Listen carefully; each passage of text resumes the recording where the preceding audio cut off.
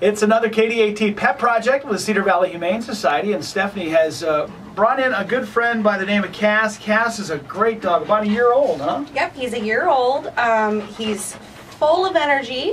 Um, so we're looking for a family maybe that has um, a lot of energy as well, who can go out and take him for runs and um, run around with him in the backyard.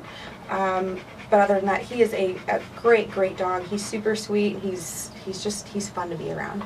Love that mark up on the on the head there. That's that's beautiful. nice work, Kas. He's a, yeah. He'd probably love a tennis ball in the summertime oh, in the backyard. Yeah. Yep, and he loves squeaky toys and treats.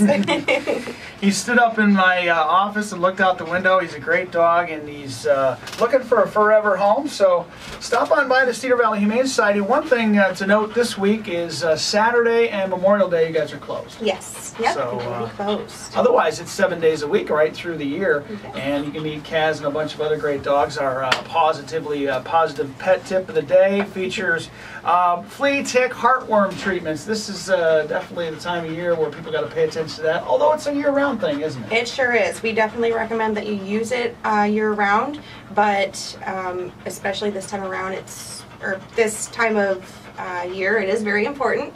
Um, so with flea and trick flea and tick treatment, um, we recommend that you ask a vet before um, pursuing anything first. Um, with that, flea and tick treatment, um, fleas typically can give heartworm uh, and ticks can uh, give Lyme disease. So those are two very important things to stay away from.